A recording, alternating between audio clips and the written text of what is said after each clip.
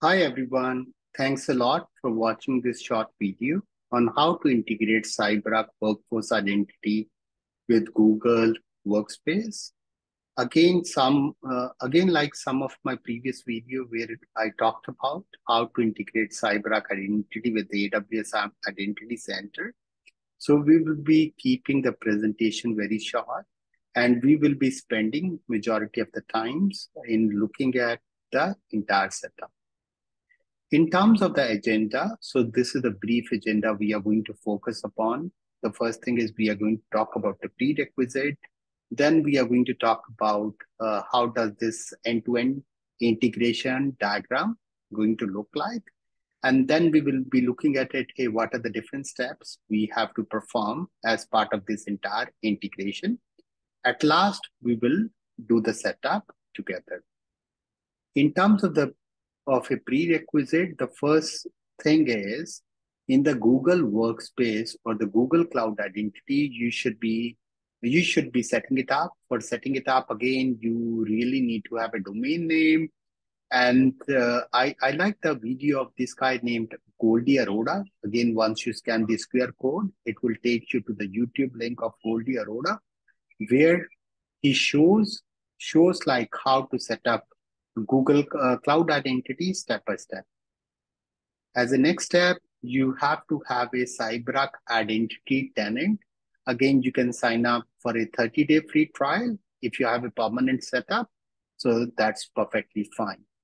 The last but not the least is, so AD integration, for the AD integration, you have to deploy a small connector, identity connector. Using this integration, so any of your AD users, they will be authenticate to the CyberArk identity. Again, setting it up takes like less than five minutes. So it's a very basic thing. So that's the reason I'm not going to cover it in this uh, video. In terms of the integration diagram, so this is how this entire integration diagram is going to look like. So our identity source is going to be Active Directory. That's where my users and groups are going to be. Then uh, then we have a CyberArk identity. In the CyberArk identity, I have like a couple of apps. Uh, for the current demonstration, we will be focusing upon a Google Cloud Platform application. And then I set up a Google workspace. Then I have like a couple of GCP projects and so on. In terms of the integration, we will be leveraging upon a SAML-based authentication.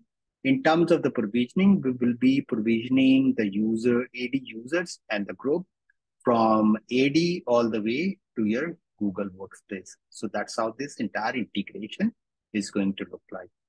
In terms of the four different steps, so these are the few four different steps we will be performing.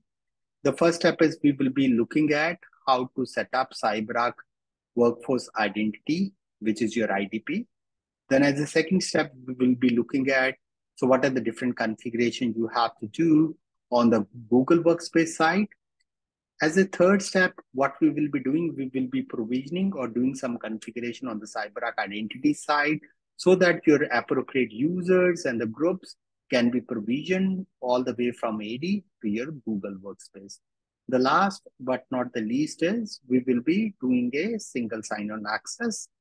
And then to, to, to learn all these things, again, you can go to the CyberArk documentation uh, it provides a detailed step-by-step -step, uh, information.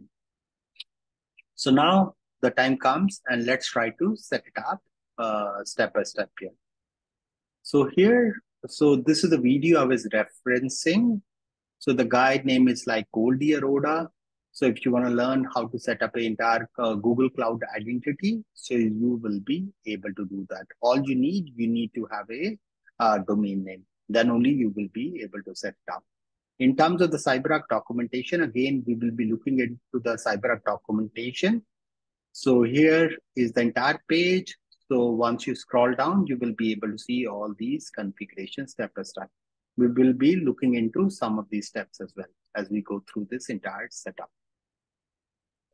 So, uh, and so what I did, so here, if I log in into one of my uh, Windows Server. So I have set up Active Directory. So here, if I go to the Active Directory users and computers, so you will be able to see my domain name is scsolutionsdemo.com. I have a couple of users like AWS, AWS2 for my AWS demo. And then for uh, GCP video, we will be leveraging upon GCP, GCP2, and then I have a group, GCP Cloud. There I got like two different members, GCP and GCP2. And uh, within this AD, so what I did, I set up my identity connector as well. Ideally, you shouldn't be installing anything on your Active Directory. You should be installing it on a different machine. But for sake of convenience, I set up is uh, my CyberArk identity connector as well. So if I go to my identity administration tab, if I go to the network, on the CyberArk identity connector, you are able to see my connector is up and running. So, and so that's pretty much. So what we will do as a first step, we'll go to the web app and uh, we will try to add a Google Cloud as one of the application. So here, so let me search with the Google Cloud. So here, so I'm leveraging upon this Google Cloud Platform, SAML Plus provisioning as an application. Once I add this application, so then we will try to set it up. So here, our domain name is scsolutionsdemo.com. If I go to my admin console, you are able to see my domain as well, scsolutionsdemo.com. So I'll be I'll be using uh, the, this domain as a first step, and uh, let's customize. Uh, I mean, we can customize it if required. I'm leaving as it is. So then we can save it. So then as the next step, I'll go to the trust. In the trust, you are able to see all the all these different IDP settings and so on. So what we will do on the Google side, so we will go to the security and we will go to the single sign-on with third-party IDP. So once we do that, so the first step is we have to enable the single sign-on. And then, so we have to provide all the setting sign-in uh, page URL. For the sign-in page URL, so what we can do, we can follow this CyberArk's documentation. So we have done this step first. As a second step, I mean, we can download the certificate. Uh, so here in the sign-in page URL, so here, if we want to have a SP initiated single sign-on, copy the URL from the admin trust page. And then, uh, so that's how we're going to configure it. So give me a second. Let me let me try to configure the sign-in URL. So here, uh, sign-in page URL. So this is the URL, what it is referring to. So I'll copy and I'll paste it here. In terms of the sign out URL, again, it is asking for a uh, sign out URL. Again, you can keep it as, as same configuration or you can click on a menu setting and that's here you can get your sign out page URL as well. So here uh, we are going to get the certificate uh, from CyberArk. So I download my certificate and then what what I do, I replace my certificate. So now the certificate has been uh, uploaded. So as a last step, what I'll do, so I simply provide this URL so that whenever user wanna change the password, they will be redirected to the CyberArk URL. So these are the few settings what we have to do. So that's pretty much on the Google side. What we will do, we will uh, click on save button and that's all the configuration what we have to do on the Google side. So now we will come back on the CyberArk side. We don't have to provide all this information. on the CyberArk side.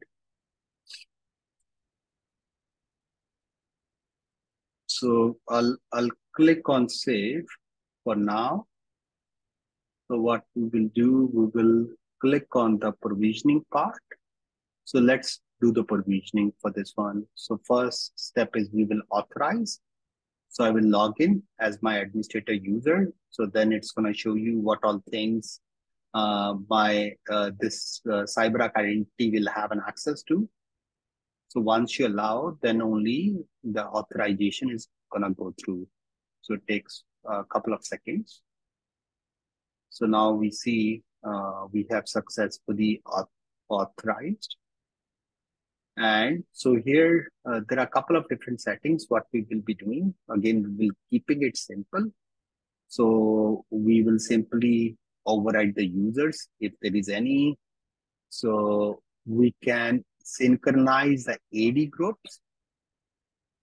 Uh, and then, so as of now, we are going to disable the user if the user gets disabled uh, in the in the CyberArk side, uh, in the identities, in the in the Active Directory. So you, we are providing you two different options. Either you want to disable or delete delete the user. So depending upon your choice, you can pick and choose.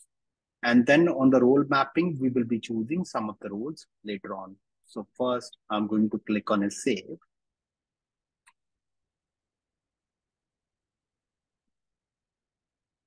So once we click on a save, and then I'll click on a role. So we will create a new role called, uh, for example, uh, Google Access or Google, Google, Google Access. So here I'm going to save it as. Uh, okay, I have two different groups, never mind. So let me use one of these. Let me remove all these things and then we'll configure and we will focus upon one role only. Let me delete the other Google Access here. So once I click on the Google Access, so here comes a member. So here, so whatever my AD group was, uh, Google GCP. So this was my AD group. So GCP cloud at the rate of scsolutionsdemo.com. So what we want, we want these two users as part of this AD group. These users should get provision on, on the Google Workspace. So I will click on add and then we will click on save. So once we do that, let's go to the web app again, go to the Google Cloud Platform. In the Google Cloud Platform, we go to the provisioning in the provisioning. So we are going to choose this Google Access as a group. So here we are, here you can select your OU.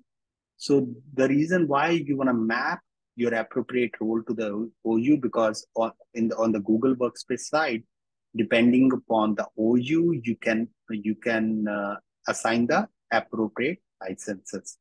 So that's why you want to do that. So uh, for this particular demonstration, so we are simply gonna choose a uh, slash and so we are going to let it. So let's take an example. Okay, giving an error. So let me check my, let me check the details, what I did. Okay. So here on the destination side, let me try configuring it again. So we are going to choose Google Access and the destination group we are going to choose as, as it is. And we are not going to choose any kind of a domain and group.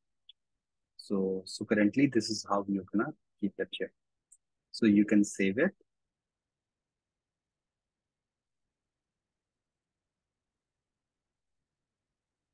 And once we save it, then we have to assign the permission to appropriate users here.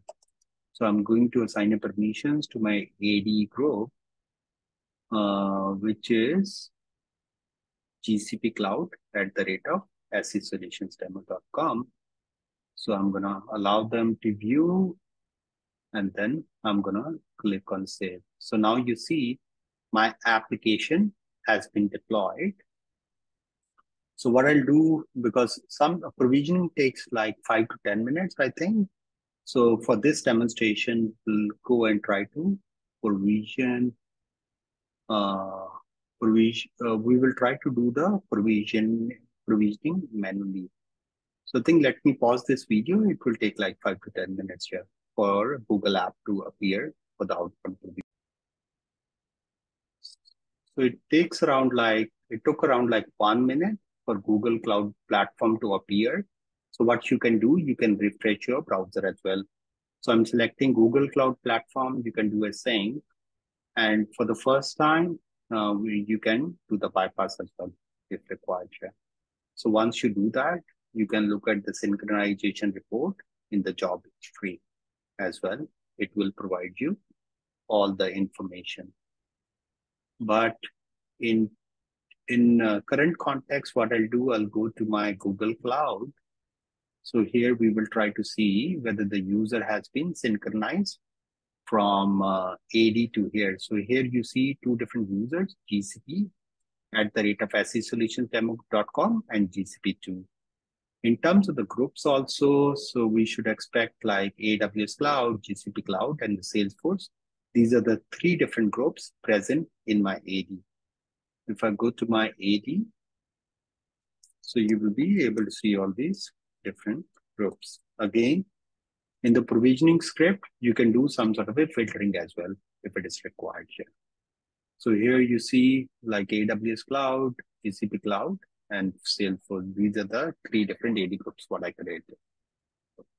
So in terms of the entire setup, the provisioning has been done successfully.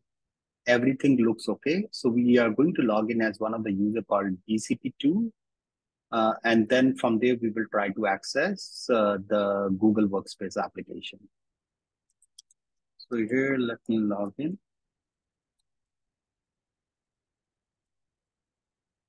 So once I'm able to log in, so here you see Google uh, Cloud Platform as one of the app. So once you double click, so so from there, I think you have to accept it. And then from there, you will be able to get into the Google Cloud. And then you have to acknowledge the terms of service for the first time. And then, so in a way, your authentication goes through, and depending upon, uh, depending upon what are the different roles has been provided, has been given to this particular user. Uh, so, so that's how user will be able to go and uh, do the appropriate task on the Google Cloud platform. So, so uh, thanks a lot, everyone, uh, for watching this short video on how to do the integration uh, uh, how to do the Google Google Workspace integration with CyberArk Identity. Thanks a lot. Bye.